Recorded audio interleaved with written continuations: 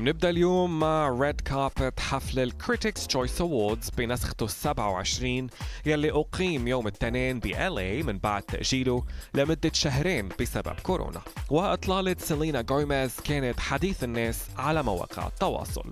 ومن الفائزين بالحفل كان طبعا ويل سميث يلي حصد جائزة أفضل ممثل عن دوره ب King Richard أما جائزة أفضل فيلم فكانت من نصيب The Power of the Dog. جوائز ال Critics Choice Awards ما اقتصرت بس على فئة الأفلام. طبعا كمان كان في جوائز للمسلسلات ومن أبرزها جائزة أفضل مسلسل كوميدي لمسلسل Ted Lasso وجائزة أفضل مسلسل أجنبي غير ناطق باللغة الإنجليزية لمسلسل Squid Game وحصد ممثل لي جونغ جاي جائزة أفضل ممثل درامي عن دوره بنفس المسلسل.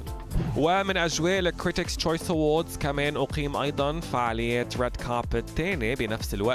بلندن للنجوم يلي ما قدروا يتواجدوا بالحفل ب LA وخطفت الأضواء.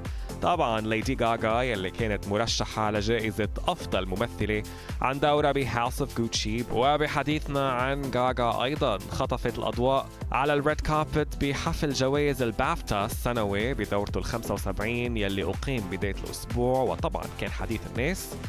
حفل البافتا ما كان live لكن تم تسجيله وإذاعته بعد ساعات من انتهائه.